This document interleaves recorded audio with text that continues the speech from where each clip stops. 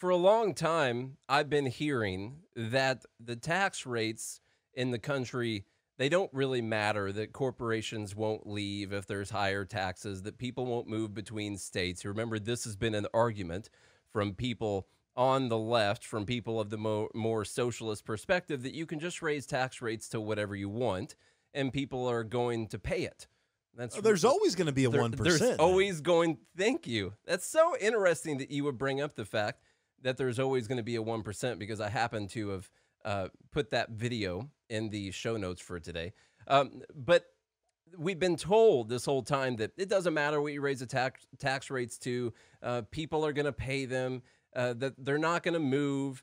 This just isn't going to happen. And from what I can tell, from what I can tell so far, people on the left are starting to realize that that is not the case.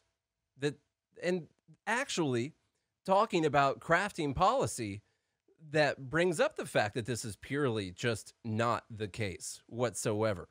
And so Janet Yellen is out there, the Treasury Secretary, used to be Fed Chair Janet Yellen, is out there calling for a global minimum corporate tax rate. Now, what's really interesting is why would you need, if tax rates don't affect people moving around, if people don't leave to escape taxes, if it doesn't affect people's economic decisions or where they live or where they base their corporations, then I don't really know why you would be worried about this.